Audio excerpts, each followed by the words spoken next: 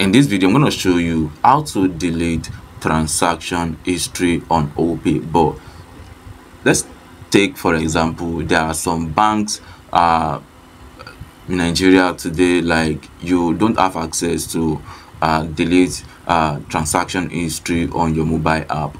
So because they believe that in the near future, you may also want uh, or need that transaction history.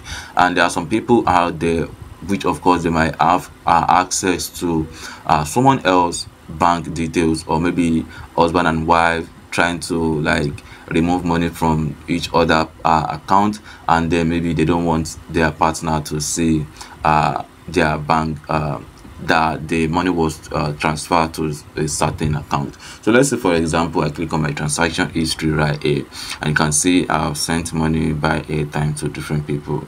Then uh, maybe I navigate to see uh, someone I, I try to send money to for example I send money to this particular person and here you see this is a successful transfer uh, transfer.